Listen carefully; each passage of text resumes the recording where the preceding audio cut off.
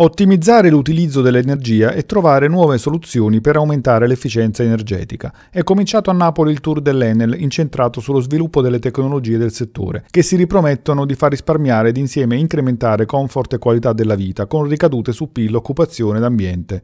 Enel Green Solution parte oggi da Piazza Dante con giochi, dimostrazioni ed esperimenti e si sposterà poi in altre 25 città italiane per parlare di fotovoltaico e solare termico, caldaie a condensazione, climatizzatori, scalda acqua a pompa di calore, alta efficienza energetica, auto e biciclette elettriche.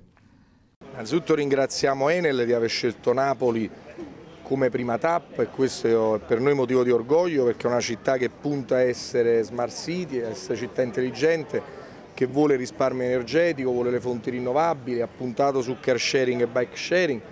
Car sharing in via sperimentale è già cominciato, a maggio avremo le prime stazioni di bike sharing. È una città che ha forti radici e tradizioni ma è anche pronta all'innovazione, ha buone aziende in questo settore e quindi siamo pronti per questa nuova sfida.